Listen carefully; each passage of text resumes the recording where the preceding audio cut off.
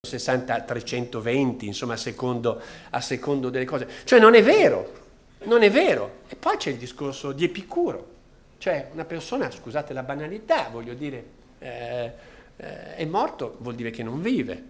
Se non vive non si può chiedere un risarcimento no, per un qualcosa che non vive, cioè nel senso prima c'è la, la vita e poi c'è la morte. No? Una volta che c'è la morte non c'è la vita, quindi non c'è un soggetto giuridico cui imputare la legittimazione per chiedere risarcimento che possa poi trasmettere il diritto stesso agli eredi. Una sentenza che ha fatto molto discutere, ha fatto molto discutere. Vi pregherei di guardare soprattutto per vedere il clima che c'è in Italia,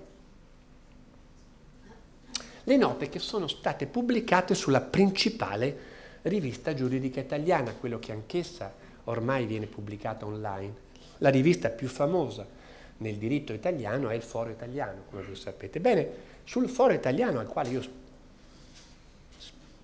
tanti anni fa collaboravo più spesso, ora eh, naturalmente i tempi, eh, ma sono uscite sentenze, sono uscite commenti, no? Sono usciti commenti durissimi su questa sentenza Salme, ma non tanto perché eh, si voleva fare un discorso anti-assicurativo, no?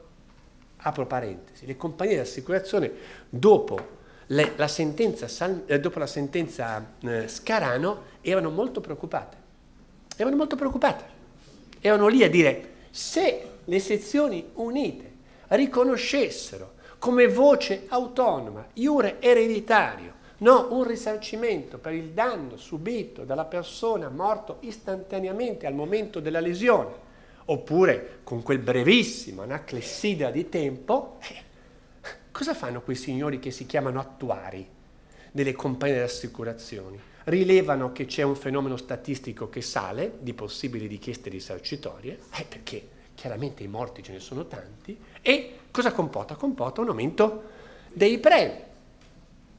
Questo è un po' un discorso che riprenderò alla fine, però l'anticipo, non so se fosse già detto a Modena lo scorso anno e l'ha detto anche Alberto prima. Insomma, colleghi emiliani, è inimmaginabile non tenere in, nel giusto raccordo il momento della responsabilità civile col momento dell'assicurazione. La responsabilità civile in Italia, ma non in Italia, in tutto il mondo, è una responsabilità civile sempre, sempre, sempre, sempre, sempre, sempre più assicurata. Sia quando c'è un obbligo. E allora voglio dire, no, c'è un obbligo. RC auto, RC professionale, RC medica ora, ma Balduzzi pone l'obbligo solo a carico della struttura e non delle compagnie, le quali fanno cipirimerla tu vieni a assicurarsi a me, io non ti voglio. Per RC auto ci sono, sono tenuto. Per RC sanitaria no, è un obbligo unilaterale, non bilaterale. Poi riprendo, riprendo questo discorso. Quindi sentenza tanatologica, sentenza danno tanatologico, una sentenza che effettivamente no, dice ma come? Eh, se muore uno... Sì, sì, hanno una legittimazione iure, iure proprio gli eredi, no? C'è un vuoto di tutela. Direi proprio di no. Ed è una sentenza importante perché in un saggetto che ho scritto proprio qualche mese fa, l'ho fatto leggere Alberto, ehm, chiamavo la responsabilità civile con un termine cui nessuno, no, cercavo un termine mio, che nessuno, perché molti hanno parlato di trionfo della responsabilità civile, di straripamento della responsabilità civile, dell'alluvione della responsabilità civile. Io ho inventato questo termine molto importante e anche non così chiaro, l'imperialismo della responsabilità civile, cioè una responsabilità civile che no, sgomina e fa fuori tutto machiavellicamente pur di raggiungere un effetto che è quello del risarcimento del danno. Bene, la sentenza del danno tanatologico è e va un pochino in controdirezione rispetto a quanto dico in questo articolo, perché la Corte di Cassazione si rende conto a livello di sistema che eh, ammettere il danno tanatologico significherebbe allargare sempre di più il perimetro del danno risarcibile con tutte quelle conseguenze che ci sono in termini di costi assicurativi. Il foro italiano dedica spa- spazio, ci sono degli articoli di Pardolesi, noto professore eh, alla LUIS, che eh, dietro eh, indicazione di Guglielmo avevo sentito per sostituire l'insostituibile professor Franzoni, ma anche lui aveva una lezione di dottorato oggi, se no sarebbe venuto qua. Pardolesi si, si scatena contro la sentenza delle sezioni unite. Ma guardate che in tutti i paesi del mondo non è risarcibile il danno tanatologico, solo in un unico paese, il Portogallo. No? È importante il Portogallo, Coimbra, no? Lisbona, eccetera, però che il, il modello portoghese sia il modello da seguire ho forti dubbi. Seconda sentenza, seconda sentenza sulla quale ha già parlato molto bene Mario Leoni. È una sentenza dotta, è una sentenza dotta, una sentenza dotta per un docente che insegna all'Università Cattolica e anche piena di implicazioni culturali, religiose e filosofiche. È una sentenza che vi raccomanderei di leggere perché gioca tutto su e fa riferimento ad una citazione di Dante. La citazione di Dante è dice spirito, il giudice relatore, quando dice sul secondo quesito sottoposto all'esame delle sezioni unite, il bambino Down può chiedere, può avere, si sente? Può avere una legittimazione autonoma per il risarcimento del danno, svolge tutto un discorso, poi spirito, la Corte di Cassazione dice la contraddizione non nol, nol consente siamo nell'ottava bolgia dantesca. L'ottava bolgia, io queste cose non le ricordavo, però sono andato a riprendere, sono andato a riprendere la Divina Commedia. Nell'ottava bolgia, caro Guglielmo, sai chi c'è? Chi fa, chi fa abuso dell'intelligenza contro le norme morali e religiose. E qui, se fossi un giudice napoletano, ospite della Fondazione Forense di Modena, il 17 aprile, me la sarei presa forse personally, abuso dell'intelligenza. No, si vogliono bene per quello che so, sia Spirito sia Travaglino, ma il riferimento è proprio a Travaglino. Eh, la, sentenza, la, sentenza, è molto, molto importante, viene dalla, dalla sentenza del luglio 2012, citata da Mario Leoni, eh, fatta da Travaglino. Io fui invitato a un convegno di ginecologia, questi grandi convegni, mamma mia, eccetera, e invitarono Travaglino, per il quale gli organizzatori mi dissero poi avevano fatto un'assicurazione contro rischi e infortuni e il clima era terribile, no? Mi sono trovato io che proprio non mi piaceva quella sentenza, ma non mi piaceva per tutta una serie di profili che verrò a dirvi, a fare il pompiere del pubblico. Il caso deciso da Tamallino è nel 2012, riguarda una bambina nata Down, Marta, eh, la madre aveva avuto già due figli, era andata dal ginecologo e il ginecologo aveva cannato. La colpa del ginecologo era evidentissima, perché la signora aveva detto al ginecologo, guardi, la situazione familiare, eh, economica che abbiamo, eh, mio marito, due figli, non possiamo permetterci, non era primipera, aveva già avuto due figli, aveva 29 anni, quindi un'età giovanile, diciamo nella media, non, non, ci possiamo permettere di avere un bambino o una bambina che abbia malformazioni, no? Per cui, no? Mm, il medico aveva, aveva, visto due figli, ottima salute, gli aveva suggerito, come forse avete letto la sentenza quattro anni fa, un esame del piffero, il tritest, che è un prelievo di una macchiolina di sangue, no? assolutamente non invasivo, ma assolutamente fallibile. I test scientifici dimostrano che la fallibilità del tritest è nell'ordine del 40-45%. I test più invasivi, che sono la no? molto invasivi perché ci possono essere dei rischi pericolosissimi, hanno una fallibilità del 3-4%. Telefono per cortesia non mi fate imbestialire.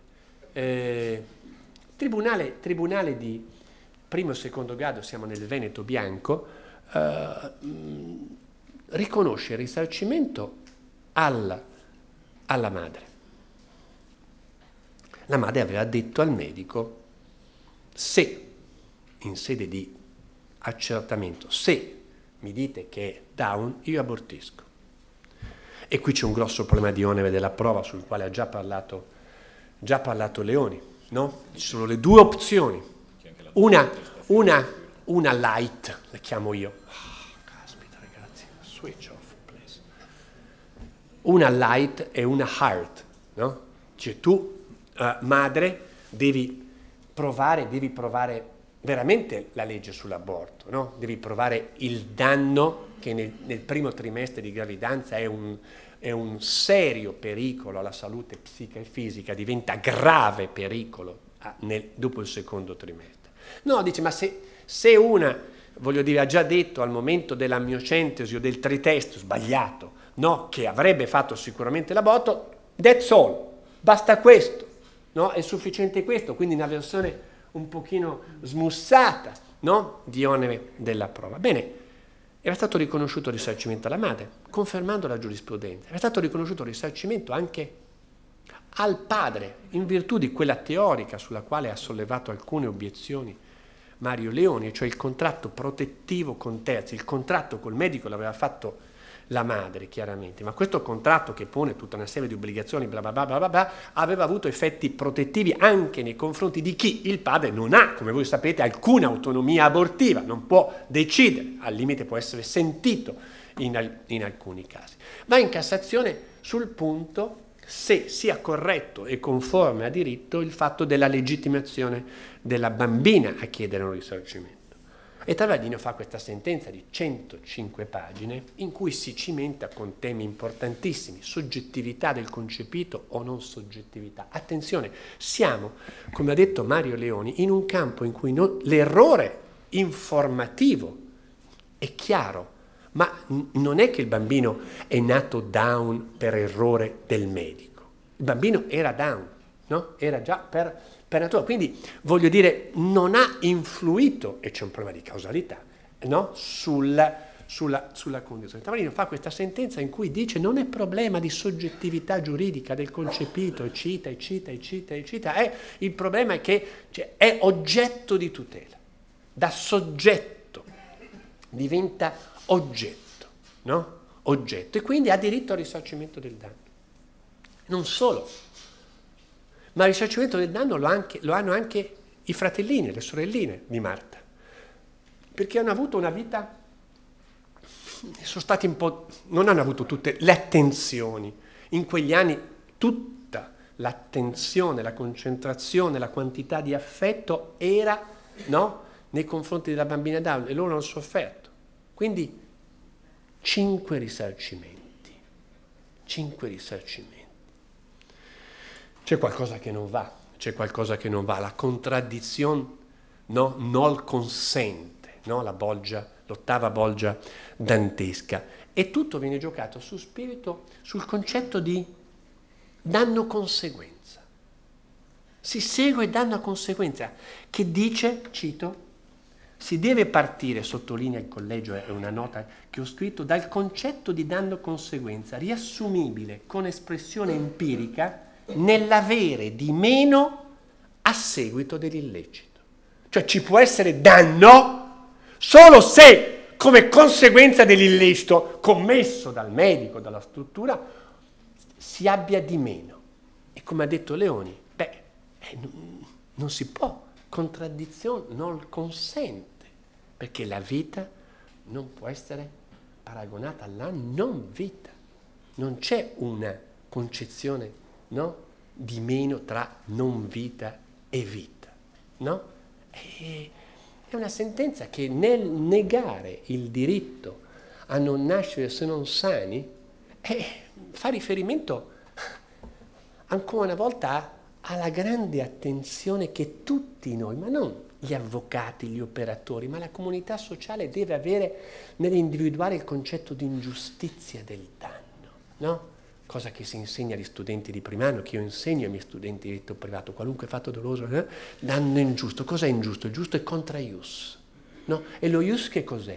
Un tempo era diritto soggettivo assoluto, poi diritto soggettivo relativo col caso Meroni, poi interesse legittimo, ma ci deve essere sempre un contraius. E qual è questo? Ma un contraius che deve essere sentito, apprezzato dalla comunità sociale. Riteniamo che sia apprezzato, condiviso il diritto a non nascere se non sani?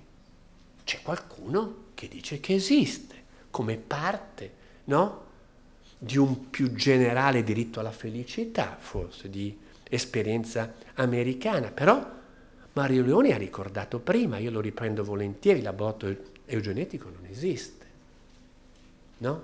Dare un risarcimento del danno, pensaci un attimo Alberto, dare un risarcimento del danno al bambino Down quando, ripeto, nato, sarebbe nato così perché non c'è una fault medicale, non c'è un medmal, medical malpractice, non c'è, era così, era scritto nella natura purtroppo, significa trasformare il diritto della responsabilità civile che vuole trasferire ricchezza tra danneggiante e danneggiato, ma solo a condizione che il trasferimento della ricchezza avvenga nel rispetto nel rispetto di quelli che sono i criteri normativi. Ci vuole un'ingiustizia del danno ci vuole un nesso di causalità. Si trasforma la responsabilità civile e forti sono state le critiche, sapete di chi nei confronti di Travaglino, che lo vedo ancora qui, no? Lo scorso anno, delle, delle associazioni di disabili.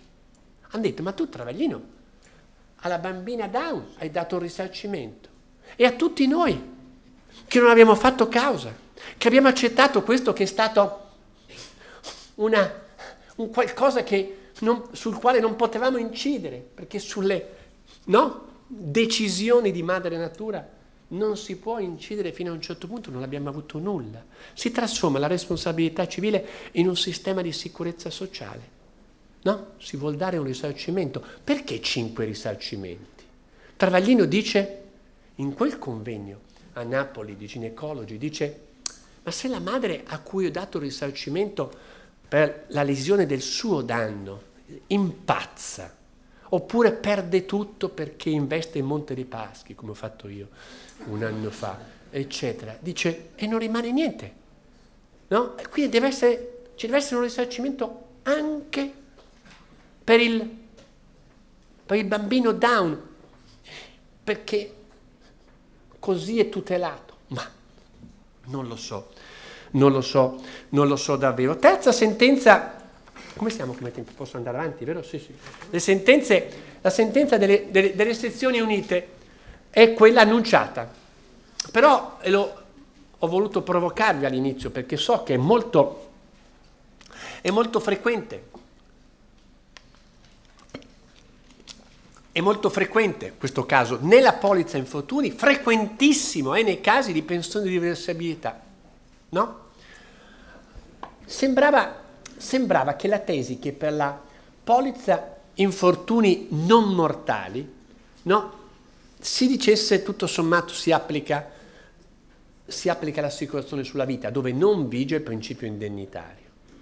Arriva dopo quattro anni di massimario della Corte di Cassazione e al massimario della Corte di Cassazione vanno, lo sapete, vanno i super giudici, i giudici che sono selezionati, che sono apprezzati per le loro capacità sapienziali, va Marco Rossetti. Dopo quattro anni di massimario, Marco, che avevamo contattato ma aveva udienza oggi alla terza sezione, quindi non è potuto venire, però invitatelo perché è veramente professore giudice, cioè nel senso è, sì, eh, eh, fa queste due sentenze nel giugno in cui dice, signori, il danno, il danno è, è un danno unico, no? Io devo risarcire il danno, il danno è se la polizza infortuni, se il risarcimento del danno che il danneggiato riesce a percepire dal terzo danneggiante superano la misura del danno 100, scusate la semplicità didattica espositiva, e così non va. Si va contro, Si va contro. Compensatio, lucro in condanni. Sì, sono due fonti diverse. Sì, ma il danno è unico. Il risarcimento deve essere integrale, non deve essere over integrale. Ricordate le cose che ho detto prima sulla forte pressione che esiste nella comunità sociale italiana di superare i limiti del risarcimento. No? Ora pensate alla situazione della pensione di riversabilità, no? Viene ucciso il coniuge, voglio dire, si prende un risarcimento di 100, la morte di un coniuge, no? Soprattutto a una certa età è ancora più forte di quella che può accadere una diversa età e io devo rinunciare a una parte della riversibilità o a una parte del risarcimento perché il danno è quello, no? Esiste una compensatio lucri con danno? In questo caso delle pensioni di reversibilità non sono due titoli confliggenti, contratto e fatto illecito, sono due titoli che sono fatto illecito e legge, è la legge che prevede che ci sia la pensione di reversibilità. Se la legge l'ha fatto, l'ha fatto per finalità solidaristiche, l'ha fatto per finalità di ristoro, di aiuto. Sì, dice Rossetti, ma benissimo, la legge l'ha fatto per finalità solidaristiche, ma appunto nei, nei limiti del danno. Se il danno è 100, 100 deve essere e tutto ciò che succede supera, che eccede 100 deve essere detratto, deve essere scorporato. No?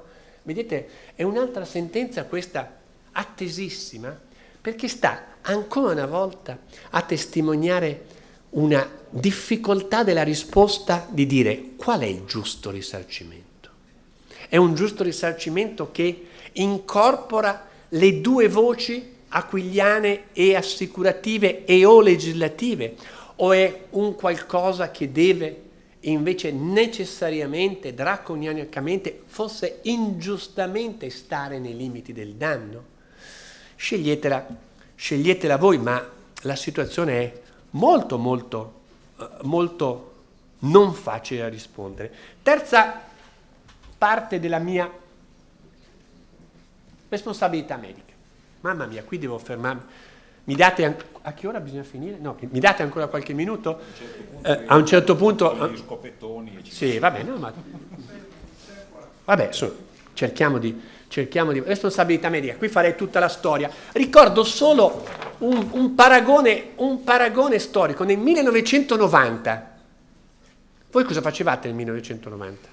Non lo so, 26 anni fa fu emanata una proposta di direttiva fu emanata una proposta di direttiva dal Consiglio d'Europa volta al ravvicinamento delle disposizioni europee in materia di responsabilità del prestatore di servizi intellettuali. E questa responsabilità proposta di direttiva era così fatta. Il prestatore di servizi intellettuali è responsabile, ok? È responsabile, non oggettivamente, è responsabile, salvo salvo, salvo, salvo che non provi di aver rispettato le regole dell'arte. Era un modello di responsabilità, correggimi Alberto, non oggettivo, ma paraoggettivo, che faceva e completava il, il quadro di regolamentazione europea che più, pochi anni prima in materia di prodotti difetti da prodotto, aveva introdotto un, un, regime di responsabilità oggettiva. Il, il produttore è responsabile dei danni cagionati da difetto del prodotto. E bisogna provare il difetto. Il prestatore è responsabile nei confronti del cliente, paziente, eccetera, se non prova, no? di avere un'inversione dell'onere della prova, chiamiamo così, una responsabilità torrente, il manuale di diritto privato la chiamerebbe responsabilità aggravata. Bene, sono scese in campo, dopo questa proposta di direttiva, tutte le principali associazioni dei prestatori intellettuali europei, dicendo, ehi, siete pazzi? Se passa questa direttiva, ci sarà un over deterrence all'americana, cioè noi medici smettiamo perché voglio dire, chi opera più? No? Ginecologi, tutti cesari, in fila. Non possiamo rischiare. Insomma, le lobby, nel senso legale delle associazioni dei professionisti intellettuali vinsero. La proposta di direttiva fu ritirata perché troppo ardita, troppo severa nei confronti dei prestatori di servizi intellettuali, in primis il medico. Ho ricordato questo perché molti si scordano da dove siamo, da dove siamo partiti. Era il 1990, cioè 25 anni fa, no? Sì, Jurassic Park, ma insomma, dal 1999 in Italia, ora non sto qui a ripercorrere, dovrei, avrei bisogno di un'ora, ma guardate che cosa è successo. Contatto sociale. Mi seguite? Vi ricordate? Mm. Vicinanza della prova. Tutto noto? Nesso di casualità. Tutto noto? Più probabile che non. Perdita di chance. Prescrizione. La decorrenza della prescrizione. Alberto, io insegno ai miei studenti che la prescrizione, le, le regole sulla prescrizione sono regole di diritto pubblico, inderogabili. Patti contrari tra le parti non hanno effetto, perché è l'ordinamento che dice, no? Bene, come è stata interpretata la prescrizione? Da quando decorre la prescrizione, da quando il fatto è stato posto in essere, dice in materia di illecito. E quando è stato posto in essere l'intervento operatorio? Eh no, eh, mica sapevo io, mi hanno operato per, perché, no, no, no, per non avere figli, no? Per essere sterile, no? Io per 7-8 anni ho fatto il monaco, poi mi sono messo, ho trovato la compagna della mia vita e ho detto andiamo, tranquilli, senza cabrio, senza nulla, no? Eccetera. Sono venuti fuori una moltitudine, che, che, che è anche giusto, no?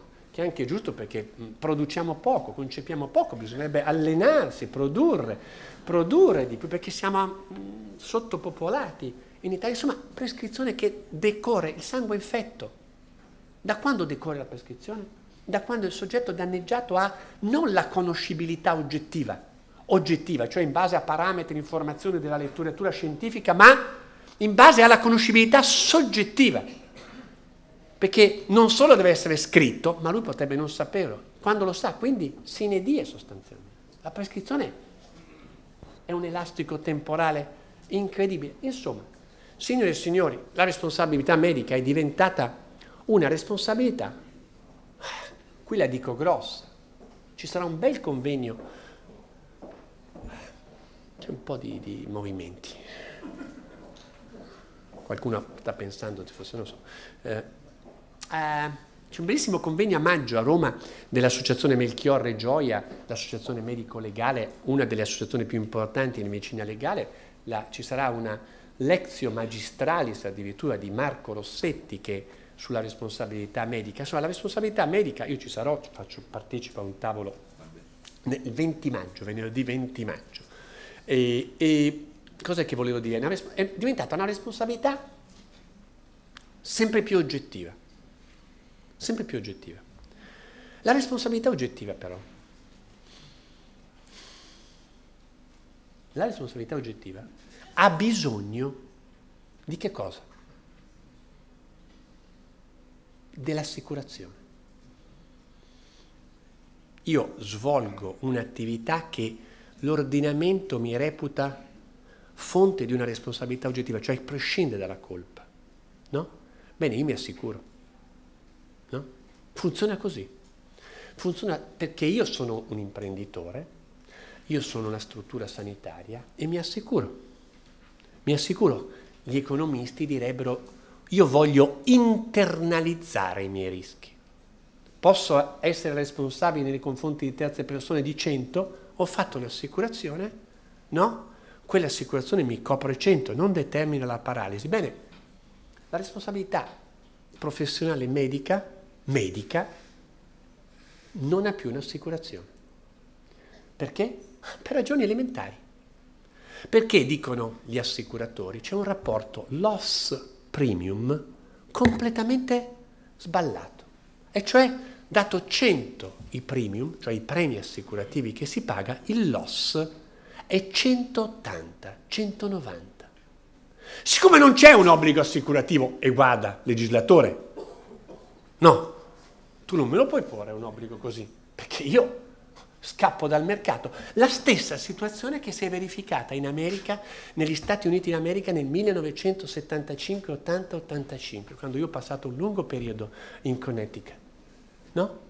Le, le, I premi assicurativi sono andati alle stelle, nessuno più assicurava. A differenza della RC Auto, l'ho già detto prima, dove l'obbligo legislativo è bilaterale, qui l'obbligo legislativo introdotto dal mio amico Renato Balduzzi, mio collega, la Cattolica, anche se ha insegnato dieci giorni, poi è stato chiamato da, da Monti, ministro della Sanità, è unilaterale.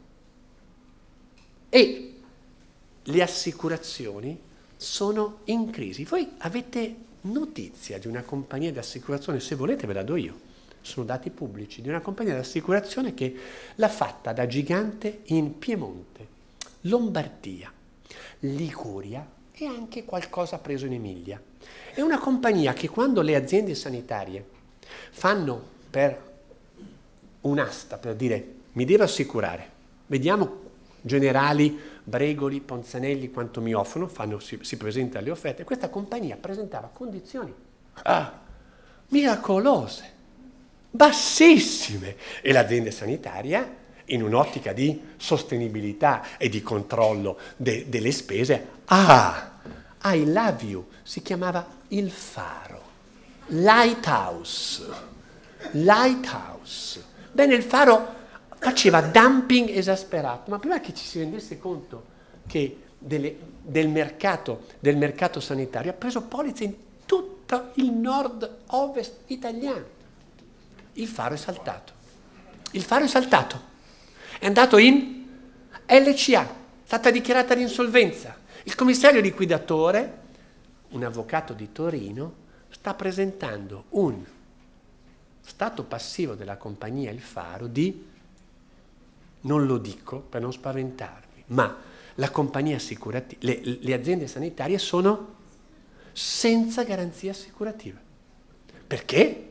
Eh, signori miei, perché per la RC sanitaria non è previsto un fondo di garanzia come previsto per la RC auto, per la caccia e per altre cose. L'articolo 19 della legge 24 dicembre 69 numero 290 non c'è fondo di garanzia da chi è pagato poi. Da noi. Al momento del premio, quando noi paghiamo a dicembre gennaio il premio 100, premio assicurativo, guardate le sottovoci, c'è una piccola voce che sono, perché le LC Aura sono molto di meno di 30 anni fa, mai no? C'era il grosso incubo, c'era il grosso incubo per quattro anni fa che andasse in liquidazione coatta la terza compagnia italiana, no? Un certo imprenditore siciliano, non, non dico nomi, no? Ma sapete il motto degli economisti, too big to fail, no? Non poteva fallire, non poteva fallire Fondiaria Milano, sai, era troppo grossa, ma era in condizioni terribili. Stato un salvataggio di sistema con l'Unipol di Bologna, con tutto il sistema. No? Quindi responsabilità civile oggettiva vuole assicurazione, ma l'assicurazione ha dei costi incredibili. Arriva Balduzzi, arriva Balduzzi nel, mille, eh, nel 2012, decreto legge, eccetera, e fa qualche cosina, fa qualche cosina e cioè il medico, no? il medico non viene condannato penalmente eh, per colpa lieve se segue i protocolli, le linee guide. Poi introduce il 138 e il 139 previsto nel codice dell'assicurazione per le reci sanitarie. Però il 138 non è stato ancora attuato. Però io l'ho detto a Balduzzi, ma che razionalità ha il 138 e il 139 in RC sanitaria?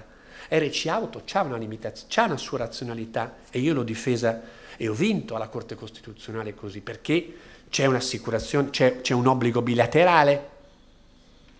Qui è l'obbligo unilaterale e dice Giulio, bisognava controllare i risarcimenti i, i risarcimenti soprattutto fanno paura ai medici, soprattutto dal 10% in su, non tanto dal, dall'1 al 9%. Sì, non fa mai bene pagare i risarcimenti, ma i risarcimenti di quelli di cui si ha paura sono quelli per le lesioni non di lieve entità, quelle che dal 10% e ancora il 138 dopo 11 anni, Alberto, 11 anni non è stato, eh, non è stato attuato. Poi c'è l'articolo 3 della legge Balduzzi, ne abbiamo già parlato forse lo scorso anno, la responsabilità extracontrattuale o contrattuale del medico esercente la professione sanitaria. Dice nei casi di assoluzione penale per colpa lieve perché il medico ha rispettato le linee guida rimane fermo l'obbligo di cui l'articolo 2043. Ve lo ricordate questo articolo che è ancora norma del codice? Tutti hanno detto extracontrattuale, si torna all'extracontrattuale? No! Mai! L'attuale primo presidente della Corte di Cassazione, fino a qualche mese fa, primo pres- presidente della Corte d'Appello di Milano, in un convegno in Aula Magna a Milano nel dicembre 2014, di fronte a una mia possibile ricostruzione dell'ipotesi del 2043, disse, non, non disse questo, ma in sostanza fu molto borrelliano, resistere, resistere, resistere, come se no, la difesa della contrattualità, della responsabilità dell'esercente della responsabilità medica fosse la panacea di tutti, di tutti i problemi. Insomma, situazione, situazione difficilissima e medicina difensiva. In Italia non si parla altro che di medicina difensiva, medicina difensiva che è attiva e passiva. No? Sono due tipi che costano, si stima, sui 12 miliardi di euro l'anno, e cioè troppe accertamenti, troppi accertamenti, troppi accertamenti, perché il medico prima di prendere la decisione sottopone a 50.000 e poi paralisi. Il medico, i settori, voi sapete che i settori a rischio, più a rischio sono il settore ginecologico, ortopedico, no? Quindi prima di fare operazioni eccetera, no? Si cerca di fare l'operazione meno fonte di rischio. Viene fuori questa dove l'ho messa? Ma l'avete sicuramente vista. La, insomma, è già stata approvata alla Camera, è andata al Senato. Cosa contiene questa, questa eccola qua, questa, questa bozza di, che credo possa essere convertita, approvata anche dal Senato prima dell'estate, responsabilità contrattuale dell'azienda sanitaria e responsabilità extracontrattuale alla faccia del presidente Canzio, al quale ho un grande senso di rispetto e di, di grande stima, responsabilità extracontrattuale, gran, eh, responsabilità contrattuale del medico, obbligo di assicurazione, ma ancora una volta un obbligo di assicurazione unilaterale, con tutta una serie di specificazioni in cui bisogna, con un decreto successivo, comma 6 dell'articolo 10, sono determinati i requisiti minimi delle polizze assicurative per le strutture sanitarie e per gli esercenti le professioni sanitarie. Per cui non si capisce bene una lunghissima fase di normazione secondaria, azione di rivalsa nei confronti del medico che abbia sbagliato solo nei casi di dolo o colpa grave fondo di garanzia, fondo di garanzia che opera, pagato da noi evidentemente, che opera quando il danno abbia superato il massimale previsto dalla polizza e quando, caso faro insegna, l'impresa di assicurazione che abbia gestito sia andato in LCA. Um, insomma, una legge, mm, qualcuno ha detto Balduzzi è incompleto, è vero, non mi pare che questa legge sia ancora incompleta, però introduce, introduce delle variazioni importanti e soprattutto, e soprattutto si rende conto che bisogna introdurre non tanto il risarcimento alla fine, no? prevedere il risarcimento alla fine, bisogna prevenire e prevenire si fa come fanno alcune regioni, soprattutto la regione toscana, la regione Emilia, con dei sistemi sofisticati di risk management, no? cercando cioè di eh, di vedere, di prevenire all'interno di ogni singola struttura sanitaria. Il medico che sbaglia, la dico grossa, è quasi sempre lo stesso medico. Allora, voglio dire, se sbaglia una volta, due volte, dai, cerchiamo di no, vedere, di vedere, di vedere la situazione. Ma voglio dire, c'è ancora tanto da dire, ma questa legge, visto che Massimo Franzoni l'ha voluto nel bollettino, eh, consenso informato, è una mina vagante. È una mina vagante. Io ho tutto il rispetto per il consenso informato. Quando è che è il consenso informato? Quando è che è il consenso informato? Vi porto, perché devo portare delle sentenze, no? Una sentenza del 12 giugno 2015, numero 12205, che sarà pubblicata sulla mia rivista. È un caso, secondo me, di tutta la giurisprudenza in materia, in materia di consenso informato, in materia di consenso informato, la sentenza più chiara. Donna viene operata per... Non ho sentito. Io ho sentito. Ciste ovarica. Ciste ovarica ottiene il consenso, attenzione, mi sono andata a vedere, ottiene il consenso, il medico dicendo c'è la ciste ovarica, questa è la situazione, ci dà il consenso, sì, e ci dà anche il consenso, attenzione, dicendo e anche a fare, Alberto, quando si sta facendo l'intervento, è una formula un po' generica, me ne rendo conto, tutto quello che possa essere ritenuto giusto, opportuno, secondo Ippocrate, eccetera, eccetera, per la malattia di cui è afflitta la signora. Aprono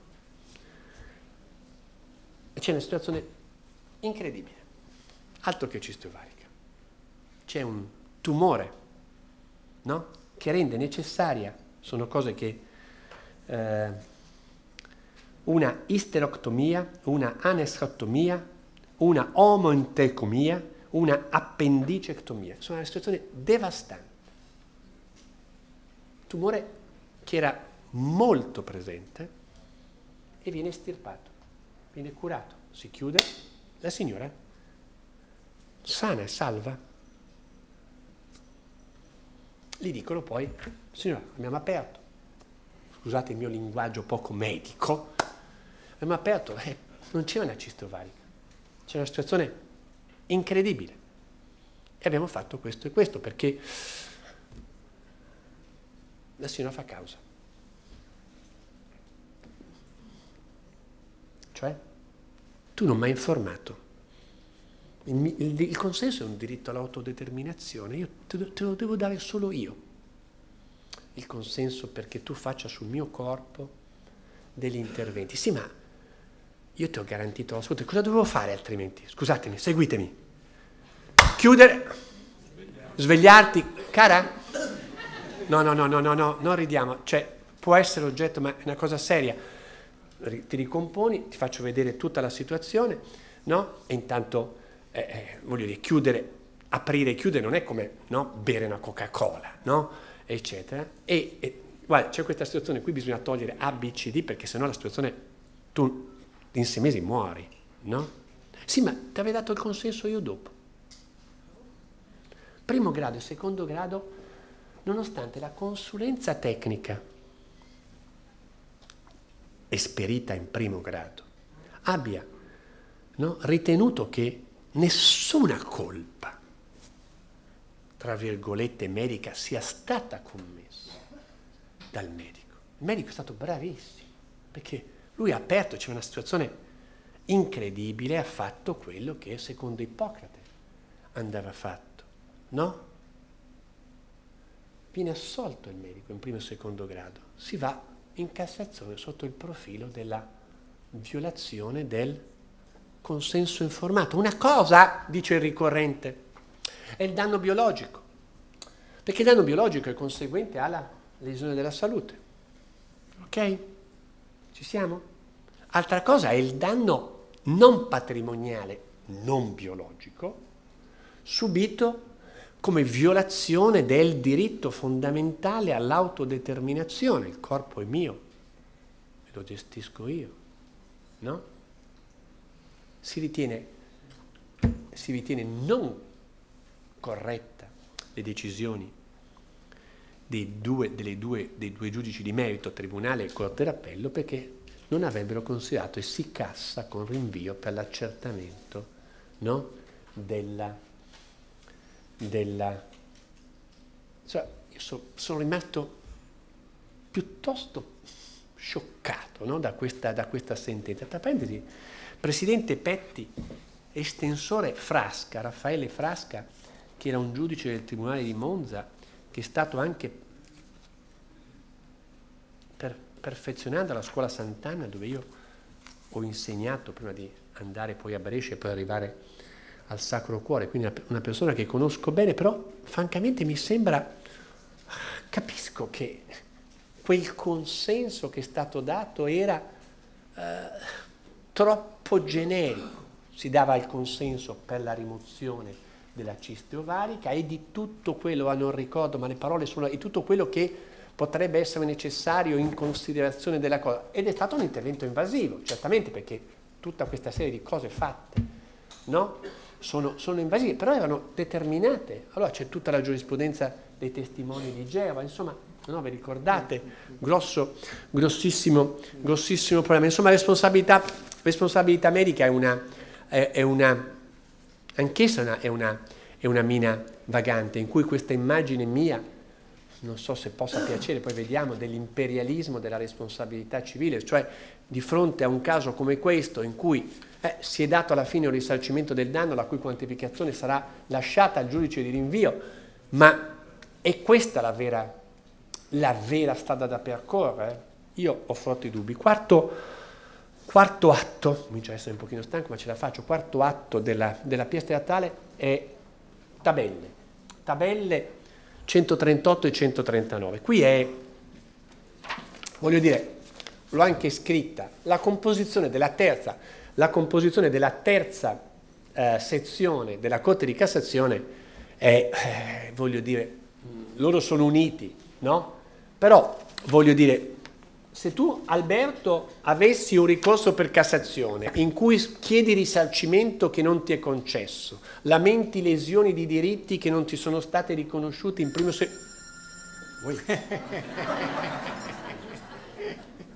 Mamma mia, scusa. Mamma, avevo lasciato. Era... No. no, ma scusatemi, veramente era... che devo aver messo silenzioso, di solito metto... Eh, e cos'è che dicevo? Eh, ricorrente, ricorrente ehm, tu che, che, che giudice e relatore vorresti? Rossetti o Travaglino Scarano? La giustizia italiana non può essere lasciata alla scelta no, del, di un giudice, si deve, voglio dire, eh, ho parlato di risarcimento giusto, no? del risarcimento giusto, ma il risarcimento deve essere certo, il risarcimento deve essere certo, assolutamente certo. Uno mi dice, ma la certezza esiste nel diritto penale, c'è la pena, nullum crime sine legge. Certo, 25 della Costituzione, sappiamo tutto, si può fare uno sforzo per estendere, non la garanzia costituzionale, no, no, ma un elevato grado di certezza anche per quanto riguarda, per quanto riguarda il risarcimento? Uh, io dico di sì. Le tabelle vanno in questa direzione. Le tabelle vanno in questa direzione, cioè nel senso di sapere ex ante, il danneggiante sa ex ante no? qual, qual è il livello di responsabilità. Quando, vedi sopra, primo atto della mia PS, ci sia un danno biologico, età, invalidità, si fanno tutti i conteggi, uno sa che se è accertata la sua responsabilità, questo è quello il danno, l'unica voce di danno non patrimoniale prevista dalle tabelle milanesi è perché, l'ho detto prima, le sezioni unite hanno detto così, però sappiamo tutti, e chi non lo sa, peste lo colga, che vogliono, cominciano come a teatro, no? che la voce di danno non patrimoniale fissata nelle tabelle ingloba al suo interno e il danno biologico e il danno morale. Prima del 2008 il danno morale veniva dato un quarto, un terzo, la metà a seconda della lesione del danno biologico. La Corte di Cassazione a sezioni unite ha detto che è un automatismo risarcire così. Spera cosa ha fatto con, lo, con le tabelle del 2009 e del 2013. Unica voce di danno che è stata valorizzata con il danno biologico più un quarto, un terzo, la metà di danno morale. È voce di danno non patrimoniale, ma contiene la valorizzazione di biologico e di morale. Dice qualcuno, nome manzoniano, Ino, no? che è seduto vicino a me, dice ma non è previsto più il danno morale, ma come è dentro la valorizzazione del danno non patrimoniale? Non è più, non è più previsto il danno esistenziale. Il danno esistenziale come categoria autonoma non è più dato discorrere. 11 novembre 2008, una delle nottate più felici del professor Ponzanelli.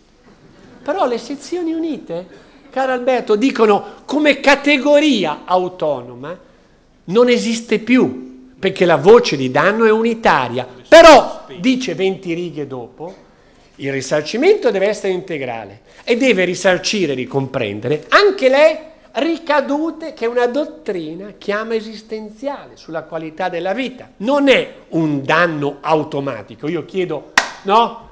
Tre poste di danno, biologico, morale, esistenziale. No, io chiedo una voce di danno non patrimoniale, sapendo che dentro c'è il morale e fuori c'è l'esistenziale. Sì, ma il 138 e il 139 dicono che il danno biologico è non solo il danno biologico statico, quello che lede soma e psiche, ma anche il danno biologico in senso dinamico, quello cioè che lede, ferisce le, le capacità, le ricadute, brutto voce di danno degli anni 60, parlo per i più, i meno giovani, danno alla vita di relazione, che era uno strumento per superare il 2059. Danno, questo è, dico, rimane fuori qualcosa, arriva Travaglino.